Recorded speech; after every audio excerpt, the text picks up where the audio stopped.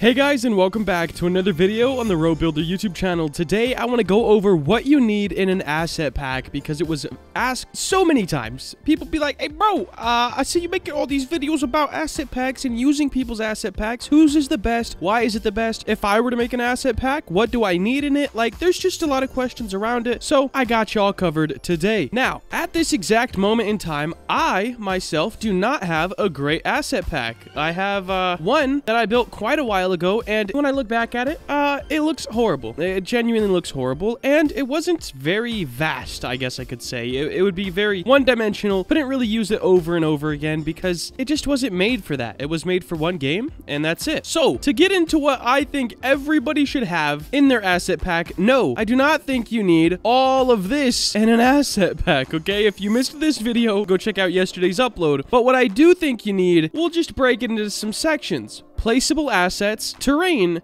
and foliage. All right. Now, the most thing you're going to use in any asset pack is going to be foliage. It just helps fill any map. It can be literally anything. But here's some ideas. You need trees. When going into trees, having a couple of each would be great.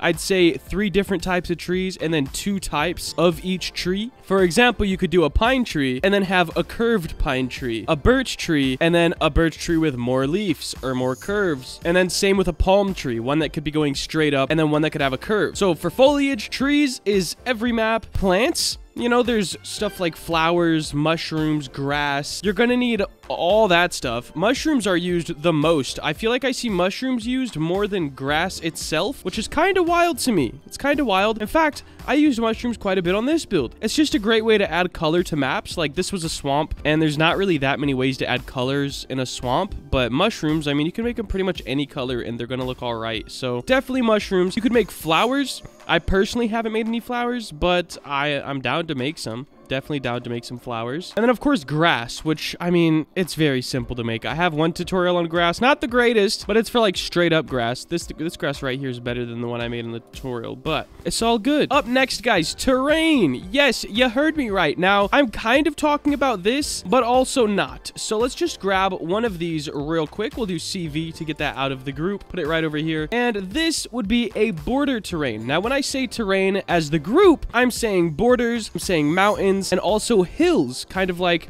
dirt or grass hills. Now, there are some of these in the toolbox as well as probably in this pack. Let me see if I can find one to kind of show you guys what I'm talking about. So, like, here's mountains. This would be like a pretty good example of a hill. It's like just very, very slight. You could do this as big or as small as you want, but it's going to help your maps look not as flat. So, if we look at, for example, all, all of these maps, all right? And of course, these are only 50 by 50, very, very small, but they're very flat, all right? And if we go into this little forest jungle thing, there's no terrain which makes it look very, very flat. And of course, it's because it's very small, but you get the point. If you were to add that grass or a grass hill, maybe some dirt hills, it does help a lot. Also, terrain pieces. So like this, uh, they had, this was made by someone else's asset pack, by the way. And they had all these, but they were using them like this. So instead of doing that, you can take these, make them bigger, smaller, rotate them, and use them as terrain pieces. Now, this map does not look that flat at all. Up next, guys, and lastly, what you're going to need in your asset pack. And this isn't including like themed asset packs. Of course, if you're going to make like a Candyland game, you're going to need candy assets. I do have a series that kind of explains what assets you'll need based on each map type. And if you guys have any other map types you would like to see in that series, let me know. I've got a few more right here that I need to go ahead and record. But placeables, guys, placeable assets. These are things you're going to be able to use over and over every map and just place them in a different way. Stuff like fountains or wells, pretty self-explanatory.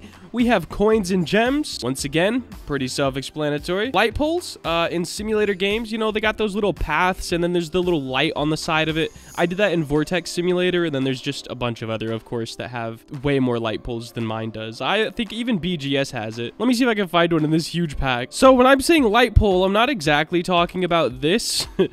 I'm talking about like, here, let me just hop up into Blender real quick. All right, so I'm to do this very, very fast, not as a tutorial, but just to kind of show you guys what's up and what I'm talking about with a light pole. So we're to extrude S, boom, get that. Now we can have this guy out a little bit. Nice. Bring it back in. Nice. And do it one more time and make a kind of... All right, we'll go ahead and add a loop cut. We'll drag this one down, drag this one up, grab this face just so we can get the extruding over here. There we go. And you can add cut that's... What is this? I don't know what this circle guy is. I accidentally clicked the button. I clicked W. There we go. Just a light pole like this, guys. And then, of course, you can add as much, like, you know, curves, whatever you want to it to make it unique. But stuff like that with a little lantern hanging off. Something like that, guys, for your light poles, all right? You're definitely going to want those. It does help fill in maps. And lastly, guys, fences. Just little fences. Like, um, not extremely, like, not the fence you see in your backyard, okay? Not the chain link fences, unless that's the style you're going for. I'm talking more along the lines of these, and this one's going to be thrown together very, very poorly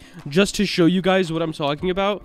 But just a fence like this, guys. Grab one of those, grab another one, and then I'll add just a little bit of a curve, something like that. Just fences like this, guys. Very, very simple, but once again, they do help fill in maps. You can place them all over the place. You could have them falling over for desert builds, anything like that. But to sum it all up and run through everything one last time, what I think you need in a natural asset pack is foliage. We got trees, plants, flowers, mushrooms, grass, terrain with borders, mountains, hills like dirt and grass, placeable assets, fences, light poles, coins and gems, fountains, and wells. And keep in mind when making these assets, it's very smart to make two or three different variations of each thing because then your builds won't really get too stale. Now with all that being said, if you guys did enjoy this video and you want to see more, make sure to like, comment, and subscribe. Have a great day.